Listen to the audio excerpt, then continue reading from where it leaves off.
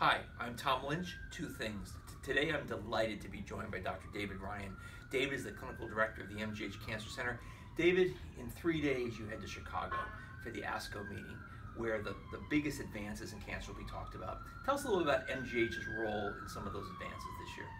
Oh, three things are, that we're going to be key players in. Uh, the first is uh, our ongoing relationship with palliative care. Uh, Vicki Jackson, Jennifer Temel have really set the tenor and we have a group of young investigators presenting really important uh, groundbreaking work.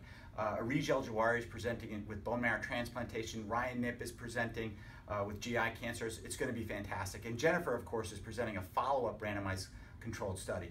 Second thing is the ongoing wonderful stuff that's going on with immunotherapy. We're right in the thick of it. There'll be uh, some fantastic combination studies that are coming out.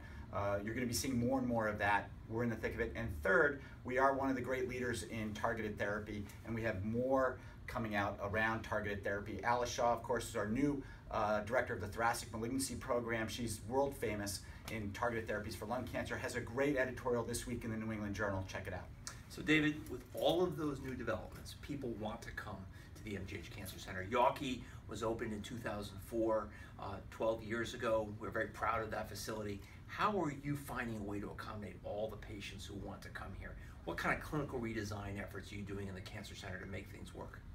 I would say uh, three things. We are, are looking at ways of seeing people virtually. I would say that uh, the breast program, the lung program, uh, the neuro-oncology program is doing that. Second is, is we opened up MG Waltham, 23 bed infusion unit. We have our own MGH, MGPO physicians, subspecialty physicians, people like Larry Blaszkowsky, Lecia Sequist, wonderful physicians who are seeing patients both at MG Waltham and here at the downtown campus. Wonderful program for patients who live in the western suburbs. They can see their doc uh, at MG Waltham.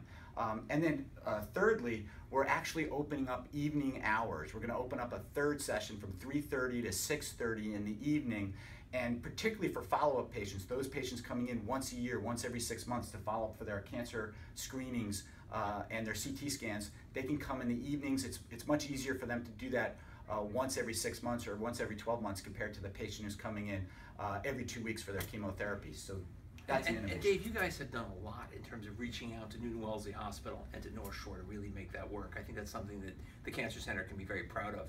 So, Tom Lynch, that's two things. Thanks a lot.